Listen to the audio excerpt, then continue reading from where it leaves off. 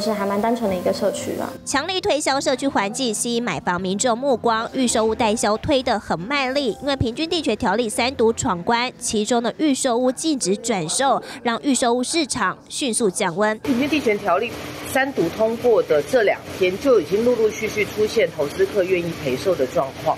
那现阶段采取不溯及既往的操作，那我们也会认为可能有一些投资客他就不愿意降价了。原本急着下车的投资客可以收收喘口气了吗？内政部代理部长花敬群透露，预售屋禁止转售有日出条款，也就是不溯及既往。假设平均地权条例新法七月上路，那么六月以前取得签约的预售屋就不在管制范围内。接下来会不会出现抢购潮？专家直言，没人想当房市韭菜。未来的这个走空的这个情况上面实在太严重了，所以其实一般的台湾民众还是会认为说，那未来其实价格都会走低的情况下，我也不必急于这一时。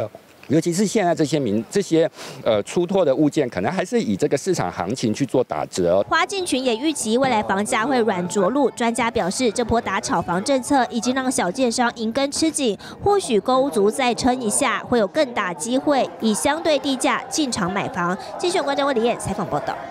立刻下载静新闻 App，一手掌握新闻时事，尽善尽美，尽好新闻。